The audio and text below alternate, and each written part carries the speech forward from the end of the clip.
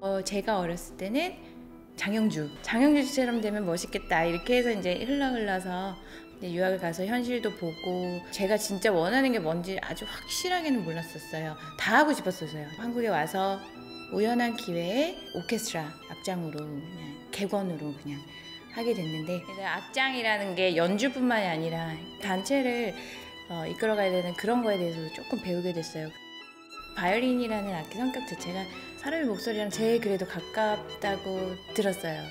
다양한 소리를 낼 수 있는 것 같은데 조금 어떻게 보면 예민할 수도 있는 악기의 성질이 있고요. 그런 부분 때문에 항상 좀 따뜻하고 부드러움에 대해서 항상 많이 생각을 하고 싶었어요. 제가 이 참버 뮤직에 어, 활동하면서 second 바이올린으로도 해보게 됐는데 second 바이올린이라는 역할이 사실 어렸을 때는 솔리스트로서 앞에서만 서는 게 가장 좋다고 생각했지만 중간 영역이 탄탄하지 않으면 무너질 수 있겠구나라는 거를 많이 느끼게 됐기 때문에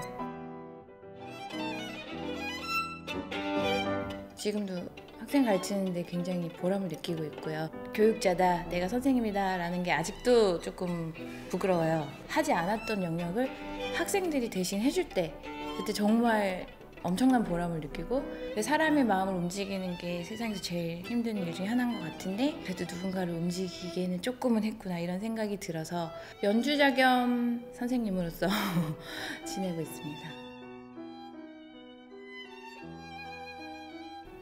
코레나 챔버 뮤직을 통해서 제가 혼자서 할 수 없는 거를 할 수 있는 거죠. 실력이라는 것 자체가 혼자서 할 수 없는 거고 여러 가지 사람들과 잘 융화를 해야 되기 위해서 노력도 해야 되고 그런 부분에서 배울 수 있다는 게 저한테 너무 소중하고 값지고 항상 이렇게 주, 축이 돼 주셨던 선생님들이 단체를 발전시키려고 하는 그런 모습에서 많이 감동을 받고 저도 다시 돌아보게 되고 후회 없는 삶? 어렸을 때는 후회할까봐 안 하는 것들이 더 많았던 것 같아요. 뭐 굳이 후회하더라도 네, 뭔가를 시도해보고 거기서 또 나아지고 그런 게 훨씬 낫더라고요. 왜냐면 후회하면 다시는 할 수 없으니까 그 일을 뭐든지 무슨 일을 하더라도 후회 없이 아직도 배우는 과정인 것 같아요. 네.